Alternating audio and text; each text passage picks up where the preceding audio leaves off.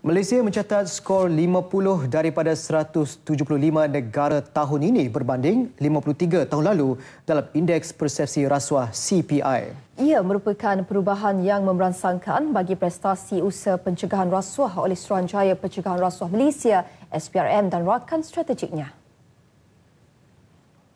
Menurut Timbalan Ketua Pesuruhjaya SPRM, Datuk Mustafa Ali, pencapaian ini meyakinkan masyarakat terhadap usaha SPRM selama ini.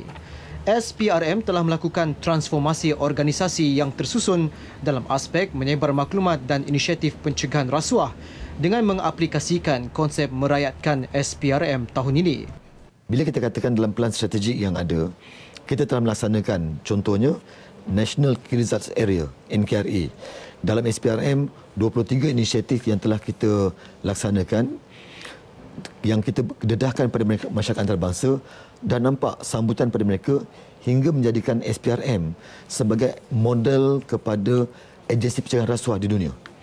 Selain daripada itu, Malaysia dilihat di kacamata dunia sebagai satu tahap yang tinggi dalam inisiatif, dalam pelaksanaan, dalam penguasaan dan tindakan-tindakan pencegahan yang dilakukan yang dilakukan oleh kerajaan dan juga oleh SPRM. Dan ini perlukan penerusannya. Lah. Beliau menyatakannya selepas program Selamat Pagi Satu Malaysia di Angkasa Puri.